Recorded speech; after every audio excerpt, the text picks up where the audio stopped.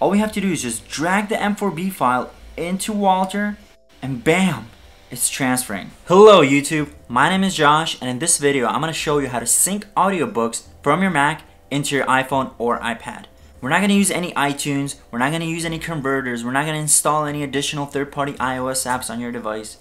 All we're going to do is just drag and drop our audiobooks into your iPhone and it's going to magically show up there for your pleasure, okay? Little background, I'm Josh from Softorino, so I'm one of the guys that developed a solution that can transfer media, any media, music, video, books, audiobooks, PDFs, into iOS devices without having to go through iTunes or converters. First things first, we're gonna need to download the actual solution, which is called WALTR. We have to go on softorino.com slash WALTR. You can download it for free, use it to transfer your audiobooks, and you don't need to pay for it if you want to use it forever, you can you can buy a lifetime license. Okay, so once you've done that, I'll leave the link in the description below, so you can always click on that. Okay, so now that we've downloaded WALTR 2, all you have to do is install it. So install it whether you're on a Mac or on Windows, and open it up. Once you open it up, it's going to ask you to connect your device, as you can see right here. Connect your iPhone, your iPad, or iPod. It actually detected my iPhone via Wi-Fi, because I already connected it before and I enabled Wi-Fi. So if you do this for your device as well, you will never have to use your cord again. You can just open up WALTR and it will automatically detect it as long as it's on the same Wi-Fi connection. I'm gonna connect it just to show you what it's like for the first experience, okay? Once you connect it, it's going to, as you can see the Wi-Fi thing is off. So now it's connected via cable. It's gonna give you even a faster experience when you connect it via cable. So here we are. I have my M4B file, which is the audio format, the audio book format by Apple, okay? I have the M4B file, I want it on my iPhone.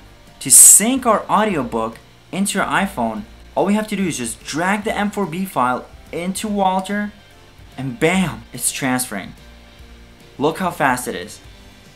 This file is like, I don't know, 100 megabytes, I think. I don't know, let me, let me check.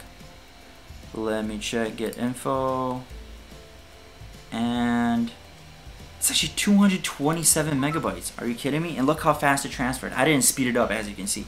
Alright, so what it's telling me right now is grab my iPhone and launch the iBooks app. Now, all we have to do to find our audiobook that we've just synced from our Mac to our iPhone is open up the iBooks app like this and bam! As you can see, this particular audiobook that I've just transferred using WALTR, it's available here. That's it. Enjoy it.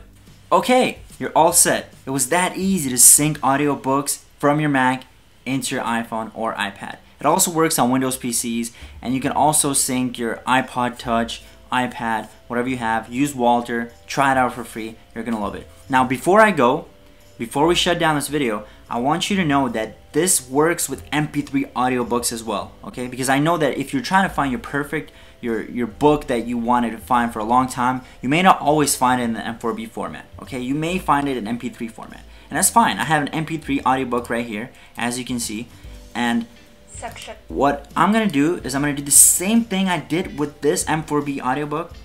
I'm gonna drag and drop this MP3 audiobook into WALTR, and bam, it's that easy. It's already on my iPhone. The only part that you should know, take note of, is that it will be available in your music app, okay, instead of the iBooks app. Simply because that's an MP3 format and by default, iPhones, they recognize MP3s as music files and they go into your music app. Alright, so that's it. Thank you for watching. Thank you for commenting. I hope you guys comment. I hope you like this video.